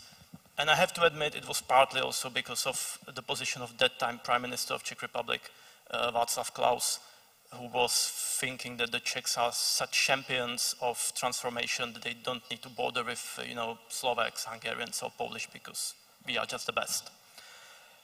And uh, it, I think, definitely ran out of steam after 2004. Uh, first in 1999 when we got members of the NATO, and then 2004 when we got members of the European Union, because the original goal was basically fulfilled. But as we all who are at least a bit close to politics know, no institution uh, just quits its existence after its goal uh, were fulfilled. So it was somehow surviving, uh, I would say, as sort of autopilot. So what helped uh, to V4 was obviously this shock created by the migration crisis. Uh, that was a sort of blood infusion to the V4. Because suddenly we realized that there is some entity in Central Europe that you know, had more common uh, than we have in common with the West. Uh, that the talks that we heard from people like Viktor Orban or from the Polish government sound much more sensible to us uh, than the strange new speak we heard from the mainstream Western European politicians. Uh, so that, I would say, was a rebirth of the V4. And I really think that the V4 should keep uh, this actually limited uh, uh, goal. It should not fail in the trap of many organizations that try to broaden as much as possible, both in territorial and uh, in uh, territorial terms and also in terms of uh, topics. Because this, let's say, a rather informal ad hoc organization that is focusing on the particular topics works the best because it can choose the topics that are of real national interest of the particular states. Because we have quite a few issues that we, that we don't agree on. I mean, in the European Union, Czech Republic was member of the like-minded group, so-called like-minded group uh, that was focused mainly on fiscal discipline and was for, let's say, lower European budget, while, for example, Poland uh, was a champion, of course, of the Friends of Cohesion, the group that is for as much, as big European budget as possible. Well, by the way, Czech Republic was member of both groups, uh, but uh, we were, let's say, our heart was much more in the like-minded group. Uh, we differ on uh, quite an important issue of uh, agriculture support in EU, where, for example, we um, are definitely more for higher upper limits for big farms, while the Poland's, uh, the Poland uh, as a country with small farming is more for the support of the small farms. We have historical issues between Hungarians and the Slovaks. So there are quite a few uh, issues we disagree. That's why I think it's good to keep it uh, focused on those ad hoc issues we agree. That makes every organization more capable. Also, uh, the migration crisis, I think, helped to create a bond between the Central European nations, much bigger than all EU-funded programs to you know, help the EUs know each other and so on.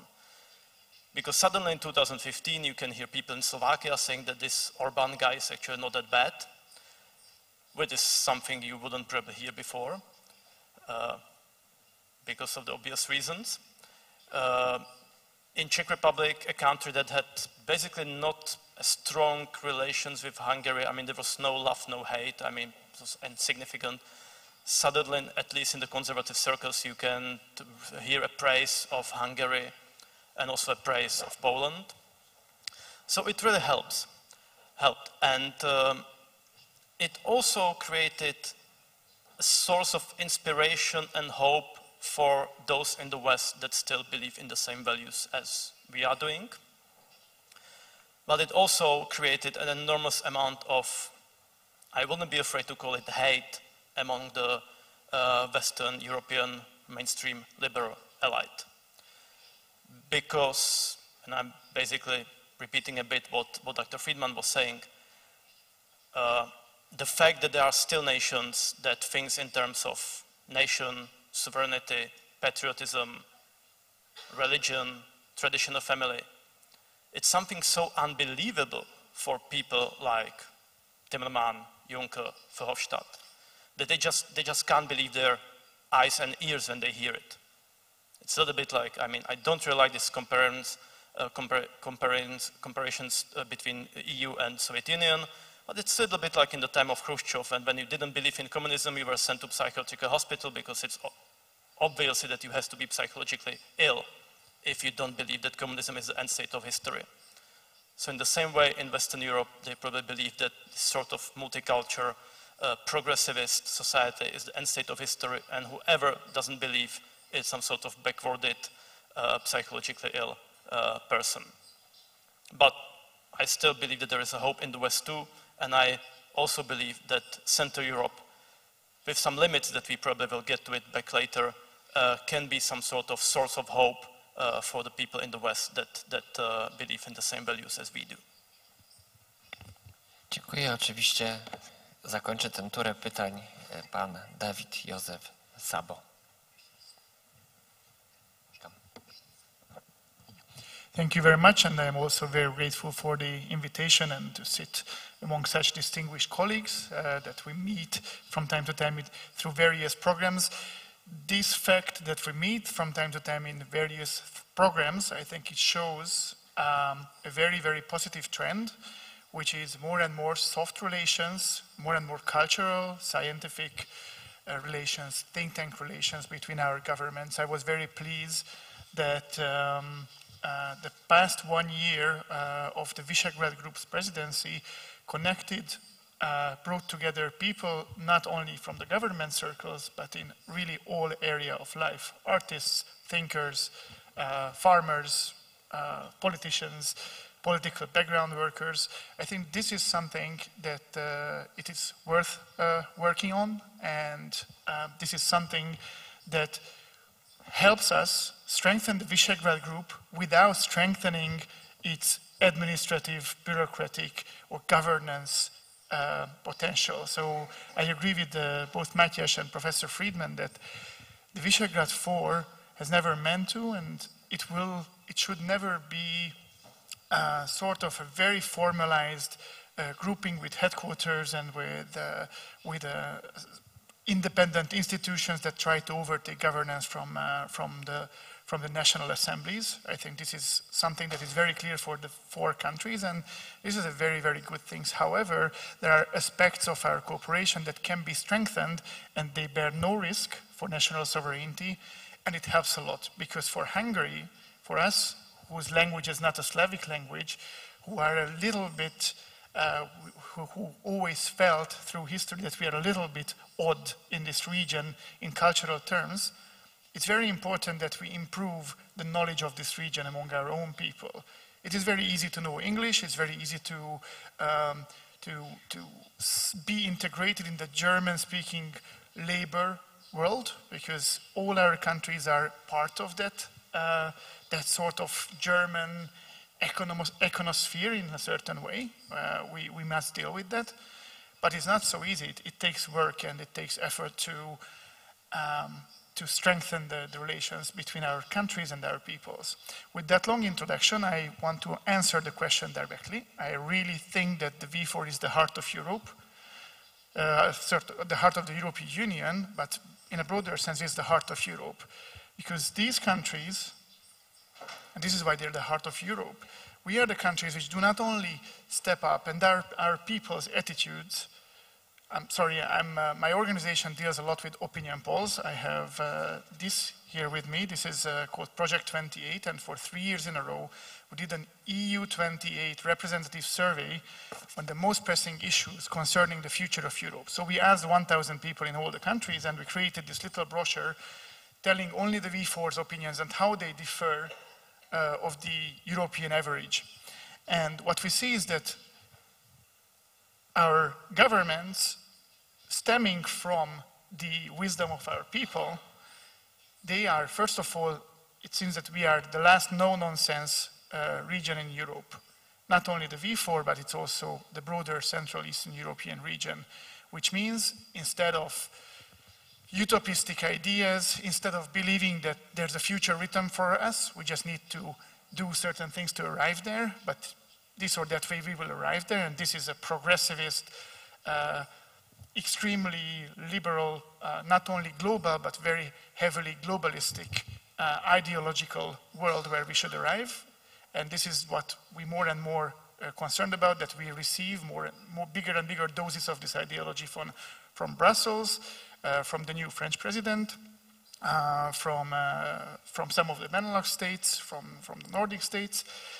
So, on the contrary, our citizens seem to be in line with certain basic European uh, values about which it's hard to agree with our colleagues in the West sometimes, which is that our culture, not our religion, and I know that with Czech Republic, for example, or Czechia, that this is, and I think this is two ends of the same uh, curve, Czechia and Poland in terms of religion, for example, or religiousness in Europe. But our culture is deeply, deeply a Christian culture. Not only Christian, also antique Rome, ancient Roman and Greek and Jewish and Christian, but it is, it is, a, it is a culture, it is a normative culture. We have values that we share, and they are not just respect for human rights, that is all part of the human dignity culture that is stemming from Christianity which was a religion, and it is deeply embedded in our culture. And it seems that our people are more uh, immune to, maybe that is part of the, not only the communists, but before that, the empirical heritage, where all of us were uh, fighting subtly and sometimes very openly against oppression for hundreds of years, that we are able to read between the lines, which means we do not, we have an immunity of uh, of uh, responding positively to gibberish uh, or of, uh, of catchy phrases, trying to sell you that future that, that is already written for you. This is the only region that actively promotes that uh, Europe or the European Union is not full, it cannot be full without uh, our immediate neighborhood. Our immediate neighborhood in the east, meaning first and foremost Ukraine, and our immediate neighborhood in the south, meaning the Western Balkans countries.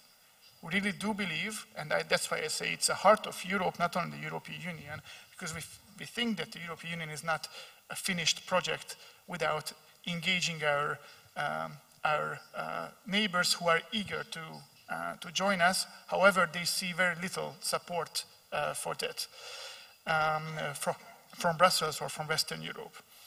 Um, very importantly, V4, uh, in my opinion, must be the main vehicle for these countries to further common interest uh, in terms of the European Union, in terms of exactly enlargement policies, some geopolitical interest as well, but it must be limited and it has been very efficient that, that we cooperated on things where we have joint interests.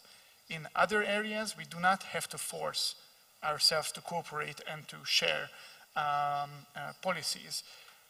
With, um, with the migration crisis uh, that we have been facing, it provided us a unity not only because we were able to discover what we think is right and what sort of Europe our people want to live in, but also it, it helped us confront the notions of our older or West European member states um, against or, or regarding or vis-a-vis uh, the Visegrad group. It is a very sad fact, but I need to share it all the time when I speak about this, that in the last three years, if I'm in Brussels and I sit down with our German, French, or Dutch colleagues and we talk about the future of European Union, it seems that they have got used to, for decades, they, they got used to the fact that they discuss these things among themselves. There's one or two version of the same thing, which is an ever deeper union, which is uh, United States of, uh, of Europe, this or that way. And they are genuinely surprised if you dare to raise a different opinion, to show a different scenario.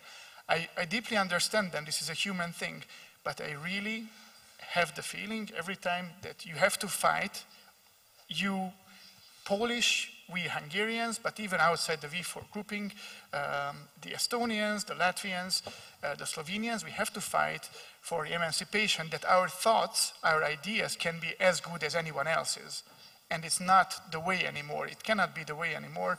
The things are decided in Europe where we have a sort of um, uh, agreement right. You know, you're asked, you're consulted, but your only option is to say yes, and maybe you get a bit of compensation. From now on, we would like to have an equal say in the Europe's um, future, and I think a vehicle for this is the V4 cooperation, but we need to look a bit further than that. And that's why also I say that V4 is the heart of the European Union. Because the V4, with our various cultural and geopolitical, geographical embeddedness in the fiber of Europe, we have very different uh, advantages how to connect and how to engage other countries or other groupings uh, into uh, conversation and into further aligning our interests where it is possible. Poland, has the potential to bring the Baltics on board with many things, with many ideas. The Czechs and the Hungarian have, also the Slovaks, have a very, very good experience in working with Germany in an economic way. I don't say that relations are flawless right now politically, but in an economic way, we have vast experience. And uh, I think this is a sign that I ran out of my time. And uh, all these countries have a potential to not to enlarge the V4 group, but to be the vehicle, be the heart of a concept of a Central East European cooperation that is bigger than the V4, but is not taking over its place. It opens up new perspectives. And I think we'll come back to the details later. Dziękuję bardzo. E, szanowni Państwo, ja wiem, że e, trudno się zbliżyć do ideału i trudno nam będzie po y, takim wykładzie profesora Freemana podjąć temat prognozowania politycznego, ale spróbujmy. Chciałbym zapytać moich panelistów o to, jaką rolę V4 może odgrywać za kolejne 25 lat. Spróbujmy się zmierzyć z takim tematem. W jakich okolicznościach V4 jako twarde jądro współpracy środkowoeuropejskiej ma rzeczywistą szansę stać się twardym jądrem Unii Europejskiej. Czy to jest w ogóle możliwe? Jeśli mogę poprosić teraz w odwrotnej kolejności, e, pan Dawid Sabo. Yes, I, I will try to be short this time. Make no mistake, power in the world is distributed based on economy and military power. We can go into details whether military is still only military or it's hardcore military or there's very many other aspects. But uh, therefore I say it is our economic policies and the stability and social fiber of our societies, which need to serve as the basis for an enhanced role of, of the Visegrad countries or of Central and Eastern Europe in the future of Europe. Right now, we are doing not bad. Uh, Poland is actually showing remarkable, exceptional results, but all the other V4 countries are doing very well uh, in terms of economic growth. We have a lower base, so we need to be careful with assessing how exactly well we are doing. But right now, all the countries are engaged in how to jump, basically, how to jump uh, up a level or go to a fast lane, as I uh, sometimes put it, uh, because new technologies offer unprecedented uh, opportunities for those who are able to capitalize on them. And for, therefore, our region is full of in intellectual potential. Our region is full of entrepreneurship spirit, which need to be translated into legislation and need to be translated into business success. And for that, we need a lot of experience and not only buyers and market openers from the United States or uh, from Western Europe or from Latin, Latin America, but, but we also need uh, experience on how to, how to do business in an efficient way, how to sell your product, and so on. So one, is, one, one uh, part is the economic development. The second one is this region has been doing well, and this is what differentiates us from the Mediterranean countries, for example, in keeping social stability, avoiding uh, a really terrible, a really, really bad uh, indebtedness trap. Hungary was almost there. I know that in 20, um, uh, 2010, we were coming back from, from the verge, you know, from the, from the end of the cliff and, and edge of the cliff.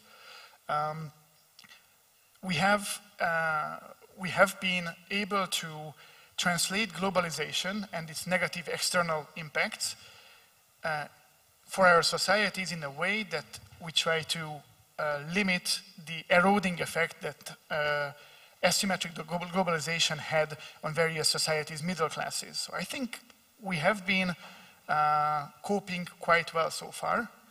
And now it's the, is the dynam dynamic phase that we need to enter, and for that we need a lot of political and economic creativity. And, and on the other side, uh, I mentioned economics and military potential, security, um, security uh, policy potential. We need more cooperation on that side. Uh, we need to invest, and this is another very important uh, uh issue that we share uh, the idea that Europe cannot, Europe in general, but European countries cannot afford being so weak while they are doing so well on other uh, aspects. So military development and the very active, quite flexible uh, mindset when it comes to building alliances to guarantee the stability of the, of the region. So this is my short assessment. This is how we will be there in 25 years where we want to be. Thank you very much. And uh, Mr. Matthias Zrno? Yeah, uh, I pretty much agree. But, um, well, I was talking um, about some sort of hope that the V4 is creating among, the, among many people in Western Europe, especially the conservatives. Uh, but that's sort of intellectual uh, hope. And I really believe that the V4 has some chance to become, well, um, sort of the early Middle-aged uh, Germanic barbarian tribes who took over the torch of Christianity and civilization from the Romans and created a new Roman, right at the, uh, uh, Roman uh, Empire at the beginning of the 9th century. Uh, that basically since the West uh, became a post-West, as my colleague Dr. Joch from the Civic Institute is saying, then we may become the new West. But that's something that comes more probably from for Poland than, for example, for the Czech Republic, because uh, you know it's all connected with the migration crisis. That, that was some sort of wake-up call, and uh, we were all against. But in Czech Republic, it was mainly just a negative program. We don't want it. We are afraid of something that may, you know, mean the end of the world we know. But as you know from politics, you can't beat a plan without a plan and we don't really have a positive program, basically.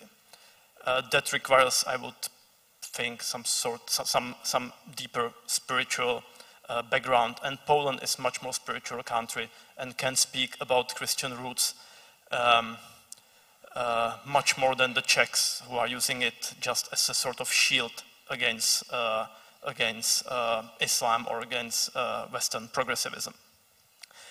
But it's, these are the spiritual things, uh, but every entity needs some sort of, um, as David says, um, it's about economy also and also about military power.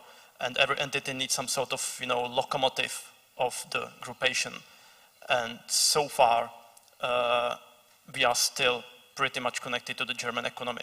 I mean, the Czech economy, the Polish economy, the Slovak, and the Hungarian.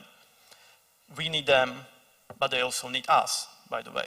But we are pretty much still dependent on Germany, German technologies, German market. Uh, I don't see in the nearest future that, for example, Poland can, can take over this uh, position. And also, so far, with all the criticism we have and we should have towards the European Union, it's still, in, at least in the terms of economy, uh, a positive thing for Central European states. It really helped our economies to boom. So I don't really like these, you know, extreme ideas about leaving the EU, and actually no one sensibly is talking about it in uh, Central Europe. What, of course, does not mean this will not be the case in 10 or 20 years, because we just don't know what, what will happen.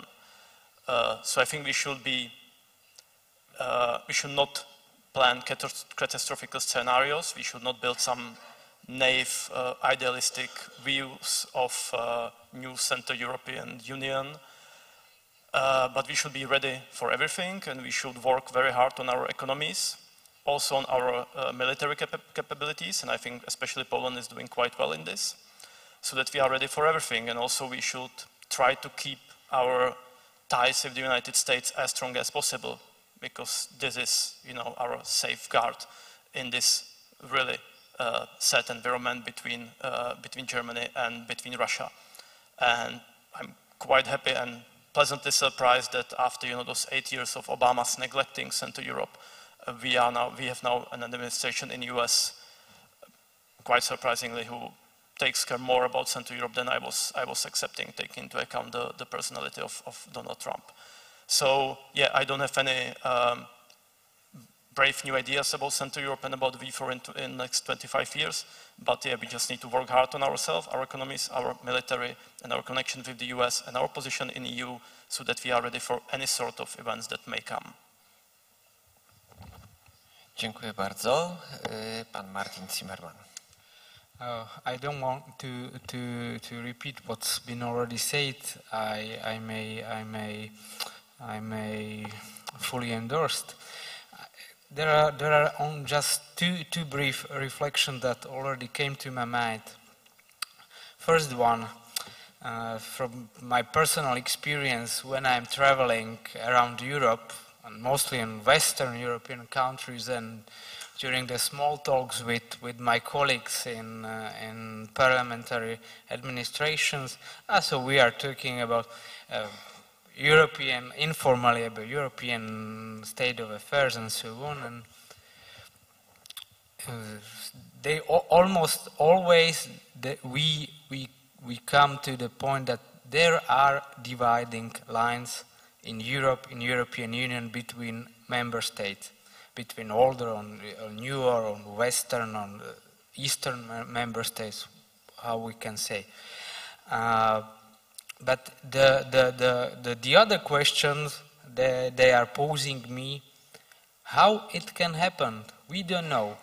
What is the, what is the perception of your country, of Slovakia, of Central Europe? And, and then, then I, I, I, I am reflecting briefly what, is, what can be the cause. But we I am, I am, I am convinced that we in V4 countries or we in, in, in, in, in Central Europe already know the answer. And that's the way we need to uh, listen to each other, to try to understand each other. It doesn't necessarily mean we uh, need to agree for 100% on everything, but we need to, to know and to identify the opinions, the views of each other within European Union. Uh, I don't want to, to, to go back to the particular, uh, particular issues that were, that, was, that were already pointed by, by David or by Matthias, but yeah, many recent problems in European Union uh, were caused uh, in, in, in recent, recent, recent years were caused by ignorance, by ignorance uh, and, and misperceptions. I think that, that, uh, that uh, the leverage or the added value of the V4 countries uh, uh, within the regards of the EU affairs lays in, in, in, in acting as a kind of honest broker.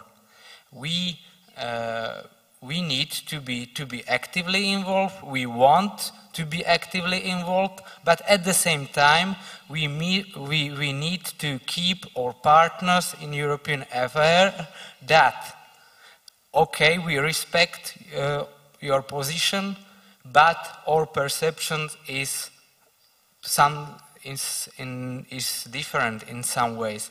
So, so uh, uh, we, I think that that that uh, uh, the V4 countries should should uh, work uh, closer on developing such kind of this positive agenda, not only to to to react in in various in various fields, but trying to to to bringing together uh, different member countries and uh, exchange opinion in, in, in advance, not only when, when it's late.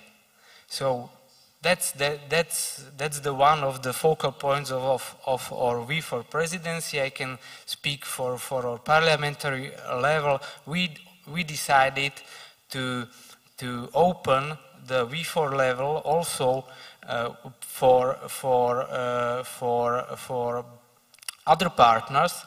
Uh, we plan, we plan to bring together in November Bratislava speakers of parliament, not, from, not only from V4 countries, but also uh, from Germany and from France. Fortunately, I can say for, for, for now that both of them, uh, uh, both of them accepted.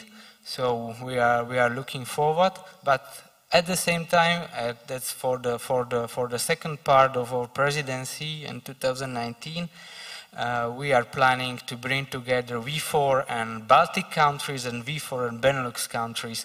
Uh, we, we, we feel that, that, that there is a kind of, of uh, uh, abyss or, uh, or kind of line of ignorance between us. We, we, we, we feel that that we need to, to, to share of, uh, of views, to, to, to inform each other about what is going on in our respective countries on parliamentary level vis-à-vis -vis the future of the European Union.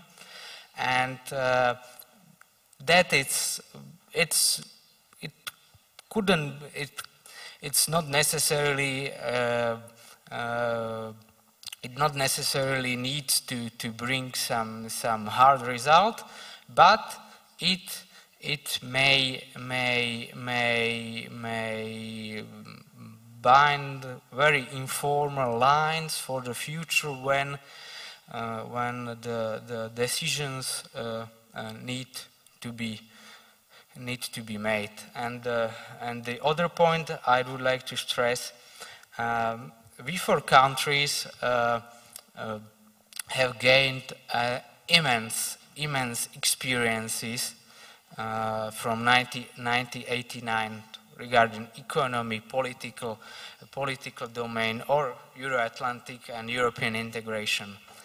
Uh, mm, we we completed uh, we completed our task we fulfilled our task we became a full member of the full members of the EU uh, NATO uh, and now uh, we are asking our, ourselves what what we can what we can do now and uh, what uh, the other purpose or the new purpose or the or the what what how we can redefine our our, our ambitions. Um, it was already indicated, but I, I would like to, to develop it very briefly. Um, uh, I think that that V4 can use uh, its leverage, its know-how, know-how gained in these processes. Uh, um, to, to act and to, sup, uh, to support uh, and by using this, this leverage, this legacy uh, in supporting uh, mainly the Western Balkan countries. We in Slovakia, we feel a kind of um, uh, moral bound, moral obligation that, okay, as we feel the, the support from our partners during our integration and reform processes, the time, the time uh, has come that we need to, to uh, we need to forward further our experiences and we need to, to, to and we can and we are, we are able, we have capacity and we are determined to support our partners that who are already being uh, prepared for the European or Euro-Atlantic integration. or parliament, as well as it's the case for the Czech one or Hungarian one and Polish, uh, are engaged in, in development, development processes for capacities building of parliamentary administration in, in, in, in Western Balkan countries or Eastern Partnership countries. I think that is also one of the, of the possible way we can uh, partly redefine uh, our purpose uh, within uh, the Europe, but also uh, also outside the current borders of the EU. Thank you. Dziękuję. I ostatni panelista, pan profesor Maciej Szymanowski. Bardzo dziękuję panie przewodniczący. Nawiązał tutaj do słów pana dyrektora Dawida Sobu może. Ja się zgadzam, że rola oczywiście gospodarki czy, e, czy armii jest tutaj duża, jeśli chodzi o budowanie siły państw, Mm, ale nie jest tak źle. Chciałem zauważyć, że jako Grupa Wyszehradzka mamy przecież e, obroty handlowe e, z Niemcami, najsilniejszą gospodarką Unii Europejskiej, tak o 50% wyższe niż Francuzi, e, dwa razy wyższe niż, niż Niemcy z Wielką Brytanią i trzy razy większe niż Włochy z Niemcami. Przy czym my jesteśmy na plusie w odróżnieniu od Francji, na przykład, która ma trwale deficytowy ten handel. I jak zapewne byśmy się spotkali za kilka lat, za 5-6 lat, jak się spotkamy przy jakiejś okazji, to będziemy dyskutować jako wszyscy już, że e, będziemy w sytuacji płatnika netto. Tak to wszystko, jeżeli te tendencje, które są, utrzymają się, będziemy wszyscy płatnikami netto. E, Armia jest oczywiście bardzo ważna. Polska akurat rozbudowuje armię. Zdaje się, że wszystkie pozostałe kraje też się do tego przymierzają. Ale y, armia też jest dobrym, dobrym przykładem na to, jak się liczy siłę militarną kraju, bo to jest iloczyn, tak? czyli tam tyle i tyle czołgów, tyle i tyle żołnierzy i tyle i tyle, co nazywamy morale w, pols- w języku polskim, czyli czynnik wartości. Czy po prostu ten żołnierz pójdzie w końcu, czy pójdzie walczyć, bo można go wyposażyć w cokolwiek, najnowocześniejszy sprzęt, ale on y, po prostu jego nie użyje. I pod tym względem chciałem zauważyć, że nasi żołnierze, tak jak tutaj siedzimy i te misje, tutaj najwięcej by pan y, doktor, y, pan dyrektor z Pragi z Instytutu Obywatelskiego był w stanie powiedzieć, bo sam w takich misjach brał udział. W tych misjach pokojowych, w których bierzemy udział na Bliskim Wschodzie, no, jesteś, nasi żołnierze są oceniani jak najbardziej pozytywnie. Ten czynnik wartości moim zdaniem jest niezwykle ważny, którego my nie doceniamy. E, paradoksalnie. I to nie chodzi tylko o religię. To jest ważne. E, Jak przyjeżdżają poważni biznesmeni amerykańscy, to idą między innymi na cmentarz, tak? Zobaczyć, jak w danym kraju wygląda cmentarz. Jak cmentarz jest zadbany, to znaczy, że ludzie w tym kraju, mieszkańcy tego kraju myślą o tym, co będzie później, że czas płynie, że nie muszą mieć efektu i nie muszą mieć zysku tu i teraz, że myślą w dłuższych kategoriach czasowych, troszczą się o swoich, o swoich e, zmarłych, żyją wspólnotowo. Niezwykle ważna informacja dla każdego poważnego biznesmena.